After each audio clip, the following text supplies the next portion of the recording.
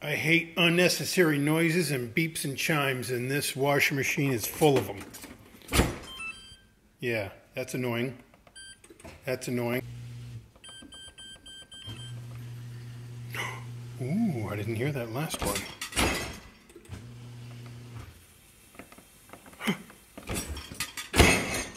That's right. In order to turn off all the annoying beeps on this one, all I had to do is hit the heated dry seven times in a row fast, and it turned off all those annoying beeps.